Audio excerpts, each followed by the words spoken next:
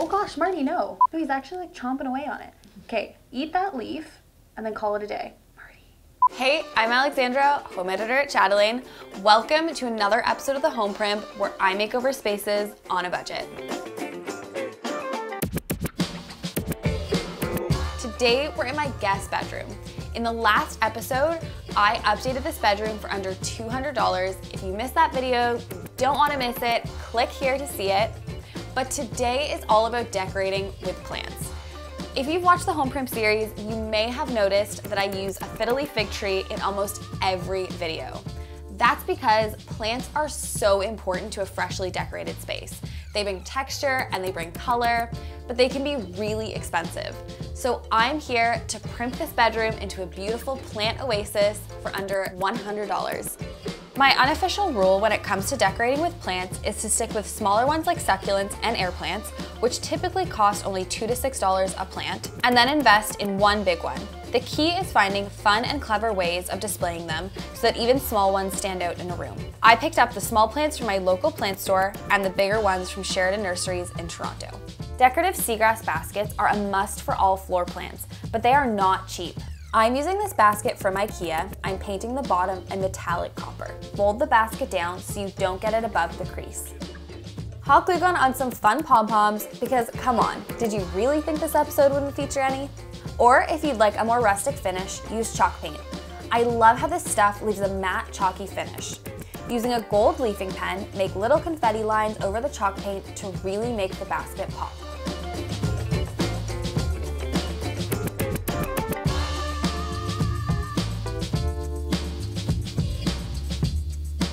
For this plant, I'm going to make a mid-century planter that's going to cost me just $9.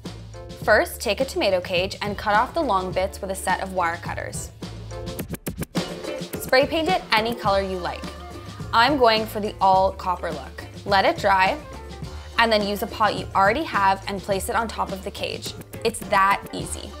Hot tip, you can make succulent lookalikes out of fruit. All you need for this DIY is the most amazing pineapple you can find and a terracotta pot. First thing you need to do is cut the pineapple top off. Peel the leaves back. See those little dots? Those are the roots. Soak the top in a clear glass until the roots start to grow. This will take a few days. In the meantime, take a fun color of spray paint and paint your pot. When the roots have grown through, plant your pineapple.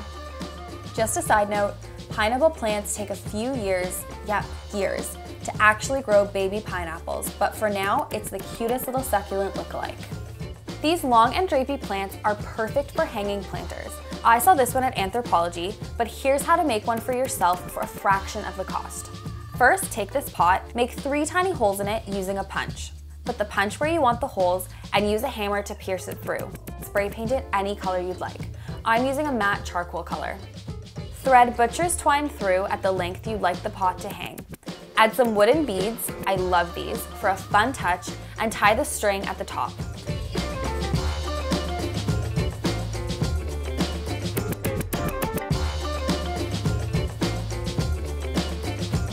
Put a cup hook in your ceiling like this and hang it up. Another fun DIY with your terracotta pot involves decorative paper. Even wrapping paper will do. I had some of this left over from a couple primps ago. Using Mod Podge, cover a section of the pot in glue and place your paper over it. Then coat the top with more Mod Podge. This doesn't have to be perfect. Leave to dry and you've got yourself a hit of pattern and color in your space.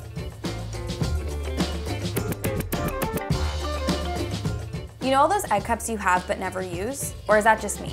Well, they make excellent succulent pots for a side or night table. Decorative hooks are a great way to display air plants. I had these wooden ones and I'm putting them on this wall so guests have a place to hang towels. They're also perfect to hang these little air plants with fishing line. Now it's almost like a living plant wall. This DIY is great to cover a blank wall. Buy a dowel from the hardware store and paint it any color you want. I'm leaving mine as is to keep it looking natural. If you've got some fresh flowers in your house that are getting ready to turn, you can use those. If not, eucalyptus looks amazing and minimal. Tie each sprig onto the dowel with fishing line. Tie more fishing line around each end of the dowel and join them at the top.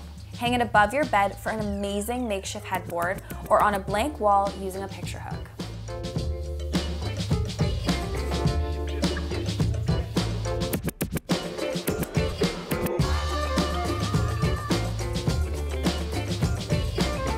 There you have it, a beautiful plant oasis for under $100. Thanks so much for watching The Home Primp. See you next time. That's a wrap. For more budget-friendly updates, click here and subscribe to our YouTube channel by clicking here.